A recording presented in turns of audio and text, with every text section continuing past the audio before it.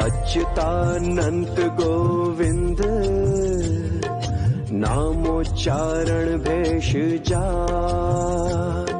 नश्यन्ति सकला रोगा सत्यं सत्यं वदाम्यहम्। शान्ताकारम् भुजङ्गशयनम्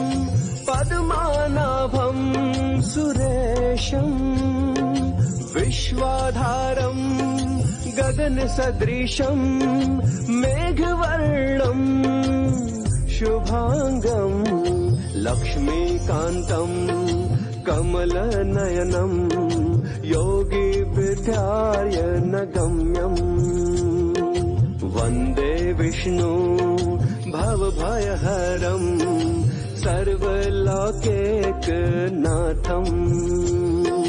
यम् ब्रह्मा वरुणेन्द्रुरुद्रमरुतः